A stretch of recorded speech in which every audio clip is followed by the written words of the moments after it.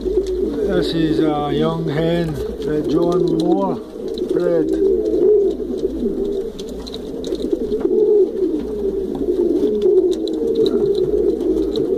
I'm hoping to breed with one of the leady does. There's a couple we choose for. but she's just she's our nicest. Trying to pick the nicest do for her.